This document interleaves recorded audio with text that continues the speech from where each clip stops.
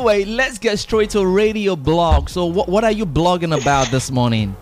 Like some days ago in Madrid, on I was about to get on a on a train, and then this guy came from nowhere with his mask on. Thank God. and it was like, "Hello." that he likes me, that he has been looking at me when I bought the ticket. Okay. That oh, that he would like me to have his, that he would like to have my number. Okay. And I was like, I'm sorry, I'm not interested.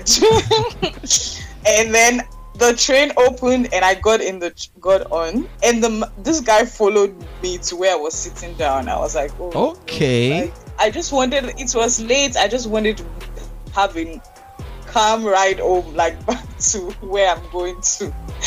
And this guy continued talking and I was asking, I was like, oh my god. I said, I'm not interested. He said, I live close by here. I'm just new here. Just telling me stories. I said, sorry, I don't even live here. Like, I'm just visiting. Mm. He was like, it doesn't matter. He was just begging and begging for my number. Wow. Just, oh my god.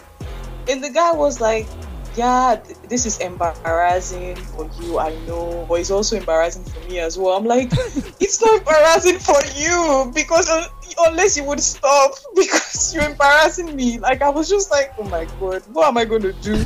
I have 30 minutes ride. How am I going to escape from this guy? Because I knew that if I moved my seat, he would follow me. So I was like, I just do. I didn't know what to do. Like I didn't know what to do. And the guy told me that oh, his stop is in three. Like he, the next three stops, he was Okay. going to get down. I was like, oh my god, thank God.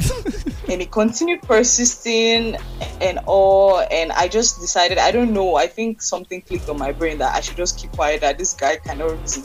So Right. I just kept quiet. You gave him a silent treatment. yeah, because I, I'm not. Yeah, I'm not that kind of person. I, I try to treat people like human beings, Mm. but I and I mean, if someone's speaking to you, I want to reply, not to do as if you're invisible. But at that point, like when you keep persisting and you are telling me all kind of stuff, and you please, please now, please now, please now, I'm like, it's so embarrassing. At some point, I actually thought that I was going to calculate the time that the train was going to open. I would just run out and like He will follow you. I promise you that. No no no if i calculate the seconds because it takes like i think three four seconds so i would just have to rush out and yeah that went through my head like i said i i just can't be i prefer waiting another 10 minutes for the next train and just get down like but finally it got down i did the silent treatment And but I would like to know, like, what people like. What what can you do in this circumstance? Imagine the guy was not going to drop in the next. The guy even told me, "God bless you." Like I'm like, dude.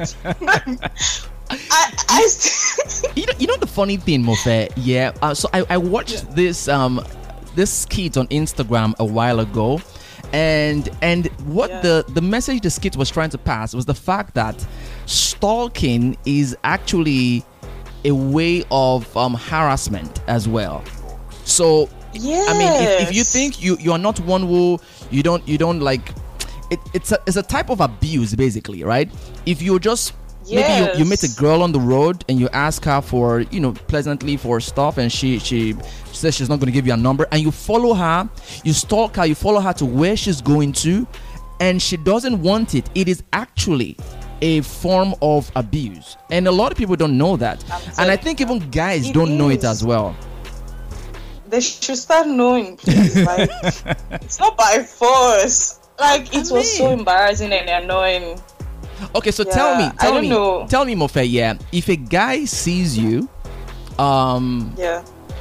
and like kind of likes you, and Yeah. wants to get to meet you, how do you think the guy should or can go about it? Definitely not harassing me. Like I don't know. Like you can even still ask for Facebook. Or I mean, if I'm in a very good mood, I might Right. even give you my Facebook, right? But not even my phone. Like for me, that's personal. My and I don't know you from heaven from anywhere for heaven's sake. Like, dude. And the approach was not right. Like I just feel that you have to know how to approach someone, how you speak.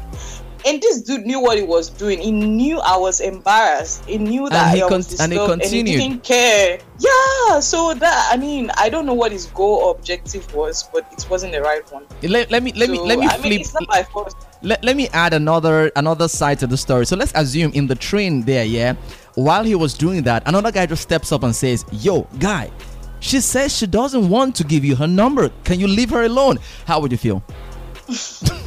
Oh, I would feel so happy. Yeah, I've had some encounters like that, like when some crazy guys just come over this one doing funny things, and then the guy would just step up and. But that doesn't mean I'm gonna give him my number. That's the other guy, yeah. right thing. Was yeah, he stepped up and made me happy and saved me. All right. That's all. I would just say, oh, thank you, and move. nice one, though. Thank you so much for sharing your radio blog with us. Um, for the ladies listening to the show, we want to hear your thoughts as well. What would you do, or how would you react to a guy who persistently, a random guy, persistently asks for your number and he and isn't taking no for an answer? What is the best way to Even go about this that? COVID, oh my god. Shay, Yeah. like, can you socially distance yourself from me? Yeah oh my god at some point it came so freaking close i was like wait dude like this is covid for heaven's sake i don't even please move thank you god bless you Thanks so no much. really. I, Yeah. I i just i would like to know like if like if this guy like imagine you were going because it was a 30 minutes it was like Yeah. he kept on like for f- close to 20 minutes wow. and like imagine if you he actually followed and what would you have like how would I have escaped that? Like how would you have escaped that? Because it just get me thinking that if this guy Yeah, Because because it was actually it was guy? actually alighting at the same place where you were.